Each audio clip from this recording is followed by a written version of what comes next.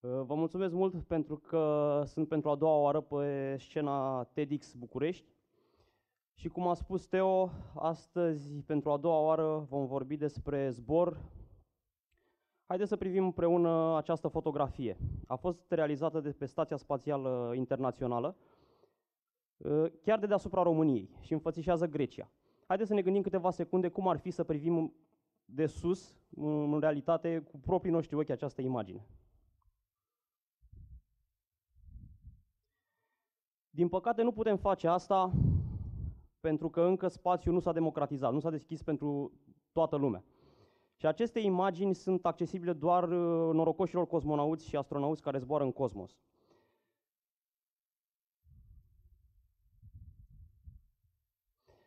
Uh, Aceștia spun că este o experiență extraordinară, care schimbă viața, te umple de compasiune și te face mai bun.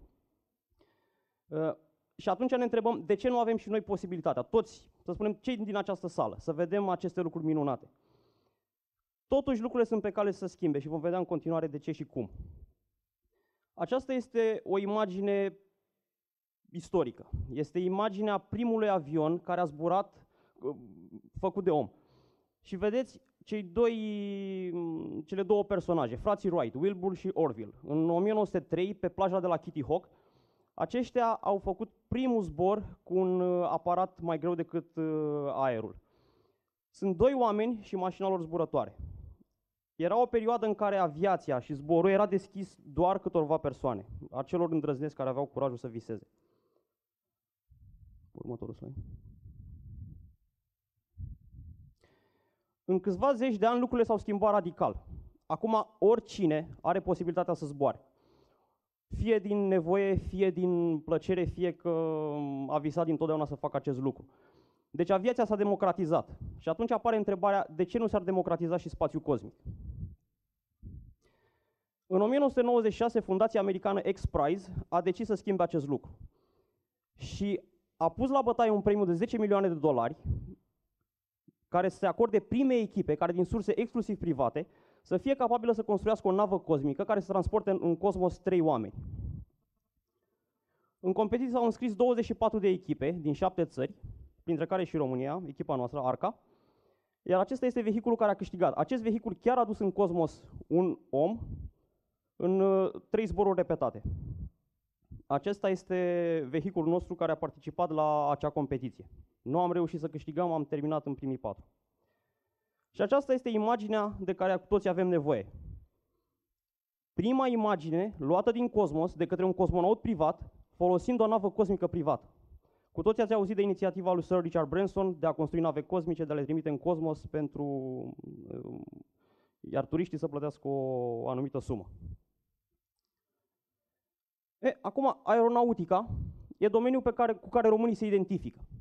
Deci, din evul mediu, de la Meșterul Manole până la Vuia Vlai cu coandă, um, Herman Obert, etc. De ce oare? Poate pentru că suntem un popor visător, nu știu. Dar cu siguranță știm că acum se naște industria spațială privată. Industria care va permite democratizarea spațiului cosmic și va permite accesul în cosmos al tuturor. Și atunci noi românii ce facem? Avem două alternative. Fie să ne uităm la televizor să vedem cum se naște această industrie privată, fie să participăm.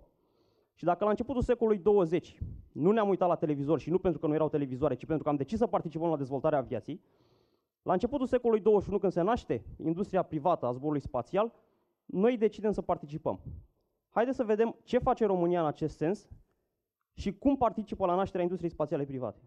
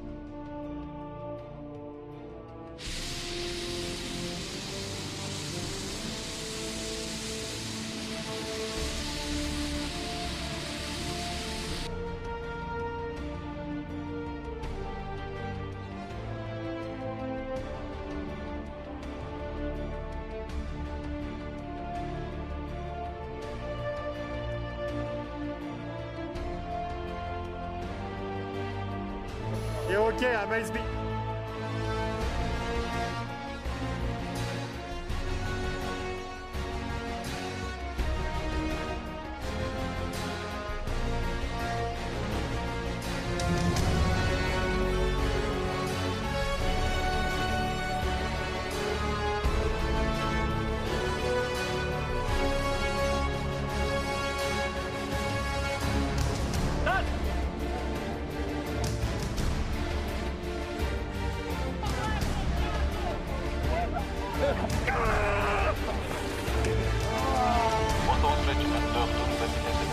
bine.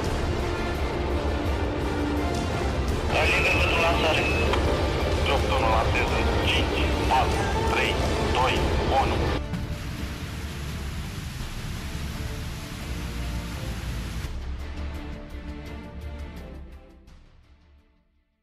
Tot ceea ce ați văzut a fost realizat în România și ceea ce este foarte important din surse private, fără participarea statului. Deci statul nu a dat niciun singur leu pentru așa ceva. Deci e o inițiativă privată. Următorul slide. Da. Acum, o întrebare. Cine dintre noi ar vrea să zboare în cosmos dacă ar avea posibilitate? Eu nu. Ok, deci foarte mulți. Există o piață, prin urmare. Și v-am spus că acest lucru e pe cale să schimbe, adică vom avea posibilitatea să facem cu toții acest lucru. Aceasta este nava Spaceship 2, construită de Sir Richard Branson și compania Virgin. Începând cu anul următor, acest vehicul va începe să facă zboruri spațiale cu șapte oameni la bord, doi piloți și cinci uh, turiști plătitori. Acesta este proiectul românesc pentru uh, turismul spațial. Este vorba de aparatul IARE 111 Excelsior. De ce IARE? Poate, nu știu, dacă aveți cât de cât legătură cu aviația, știți că IARE este un brand foarte puternic în domeniul aviației, a apărut în 1923 și a scos o serie întreagă de aparate de zbor. Uh, Noi dorim să continuăm această tradiție și primul avion supersonic românesc a primit numele IAR 111 Excelsior. Vom vedea în cele ce urmează un scurt videoclip cu secvența de zbor a acestui aparat. 111 pentru 8, 1 termin verificarea sistemelor 10 secunde. Sunt 281, am înțeles 111. 111 pentru 8, 1 permite decolarea. Ai liber pentru decolare 111.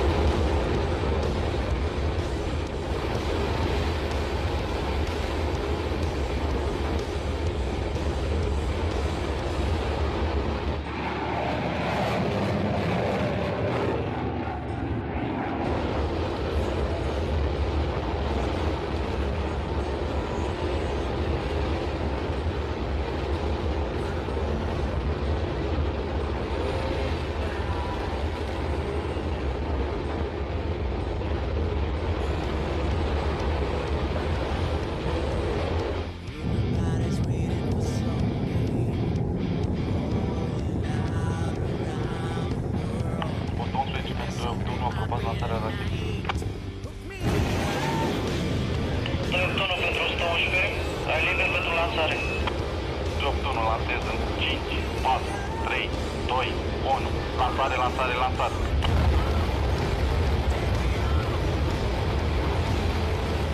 Racheta a fost eliberată, confirm pornirea motorului.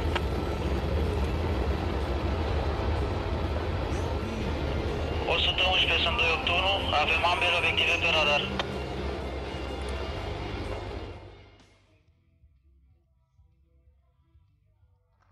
Mulțumesc mult! Acum, la ce folosește acest proiect? Urmărim două obiective, trei de fapt, să fim cinstiți. 1. Pentru dezvoltarea turismului spațial. 2. Pentru competiția de 30 de milioane de dolari Google Lunar X Prize.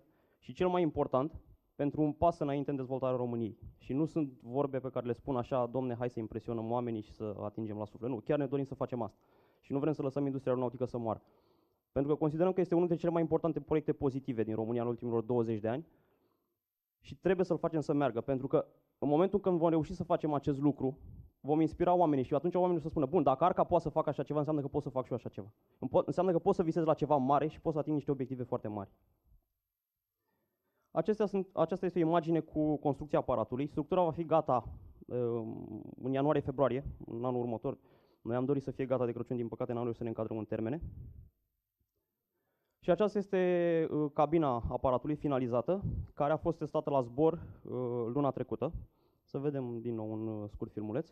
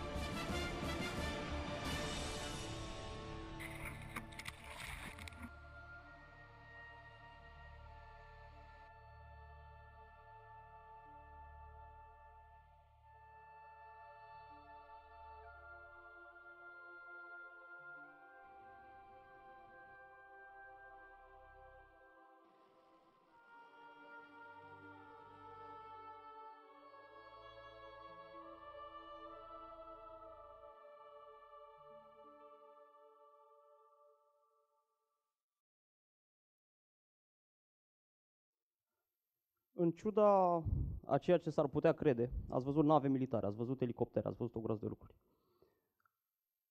Nimeni nu le-a acordat pe gratis. Lucrurile astea s-au uh, plătit din surse private.